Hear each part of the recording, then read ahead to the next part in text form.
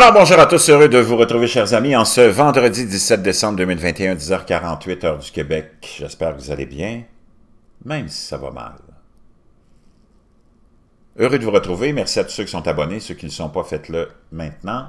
Merci à ceux que je connais personnellement aussi, il y a plein de monde que je connais personnellement qui euh, visitent la chaîne, des gens que je sers aussi au restaurant, des anciens, des nouveaux qui se joignent à nous, dont un, Danny, que j'ai servi hier... Euh, avec sa femme et sa fille, quelqu'un de vraiment euh, sympathique, très une belle famille. Et euh,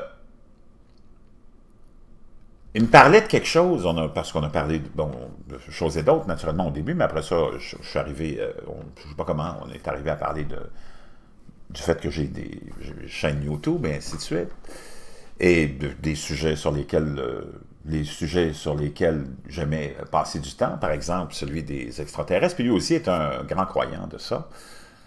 Et plusieurs d'entre vous avaient cette idée-là que Danny euh, me partageait hier, qu'on les États-Unis peut-être seraient en train, ça peut être conspirationniste, ça peut être du délire, peu importe, mais c'est intéressant, parce que ça peut être une avenue aussi très possible qu'on serait peut-être en train d'organiser, stager, faker une invasion.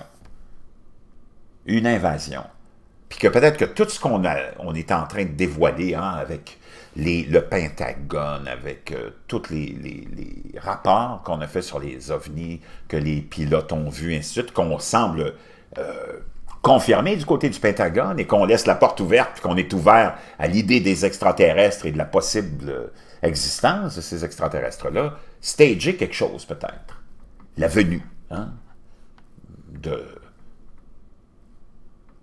cette invasion qu'on nous prépare, puis qu'on nous décrit souvent dans des films, des romans. Et que ça pourrait être possible qu'on fasse ça. Tout est possible. Et d'ailleurs, quand tu t'en vas, et ça pourrait être organisé avec plusieurs nations, naturellement, qui seraient dans le coup. On peut penser à Israël, hein, on peut penser à toutes des, quelques pays alignés aussi, Israël qui est très proche des États-Unis, naturellement, et qui a naturellement qui est le siège social de la religion, hein, euh, des trois grandes religions en plus.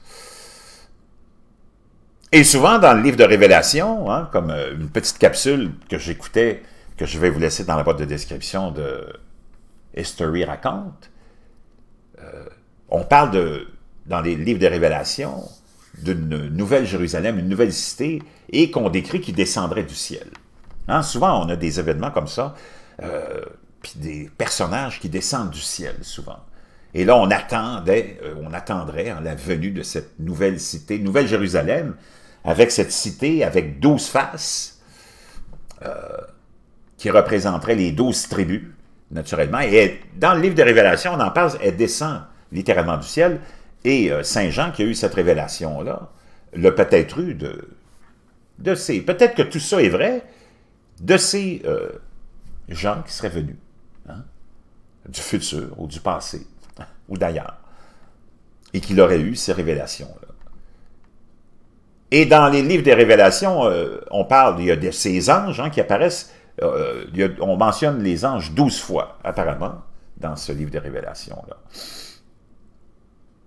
Et quand tu regardes le leadership d'aujourd'hui, de nos dirigeants d'aujourd'hui, qui connaissent toutes ces écritures-là, naturellement, qui connaissent tous les détails de ça, pourraient faire coïncider ça et mélanger ça avec, naturellement, la religion, parce que l'ensemble de la population mondiale est encore sous l'emprise de la religion et de ces croyances-là. À tort ou à raison, moi je ne suis pas là pour juger. Mais on pourrait utiliser tous ces liens-là pour organiser cette invasion fictive pour essayer de reprendre la domination du monde qu'on les États-Unis semblent être en train de perdre, et ça pourrait être une domination encore plus grande, hein, dans la peur d'une invasion de ces euh, méchants extraterrestres, et aboutir à une domination totale maintenant de l'individu face à ce qui se produirait. Là, ici, on est dans la spéculation, mais je vous avoue que quand tu regardes ce qui se passe, tu peux avoir ces pensées-là. Tu peux te dire, est-ce qu'on n'est pas en train de préparer le monde à, un événement comme celui-là? Euh, tu vois, la technologie de l'intelligence artificielle, de l'hologramme et de tout ce que tu peux imaginer, tout pourrait être possible. Tout pourrait être possible. D'ailleurs, est-ce que tout ça est manigancé par les États-Unis?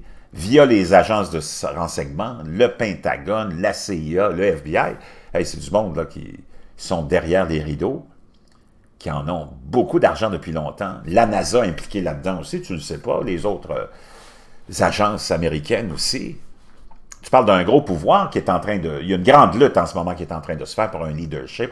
Il y a un vide total, un vide total de l'ordre mondial, c'est la dislocation du monde, c'est presque l'anarchie qui est en train de s'établir. Hein. On voit qu'il y a une lutte à finir.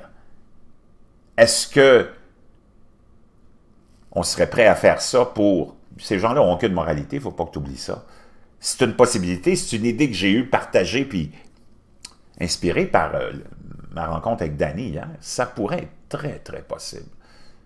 Ça demeure de la spéculation, mais quand on voit tout ce qui se passe, quand on voit ce qui est en train de se préparer, les guerres qu'on est en train de monter, est-ce qu'ultimement, on n'arriverait pas avec ce qui pourrait donner la puissance aux États-Unis et unir tout le monde derrière une lutte contre une invasion quelconque ou l'apparition d'une venue d'un autre Messie ou du retour du Messie, on pourrait utiliser la crédulité des gens pour de tels événements, pour s'accaparer puis garder le contrôle de, du monde et l'avoir encore plus grand.